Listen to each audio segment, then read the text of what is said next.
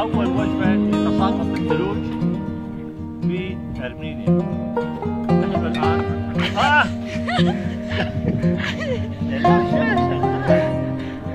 شمسك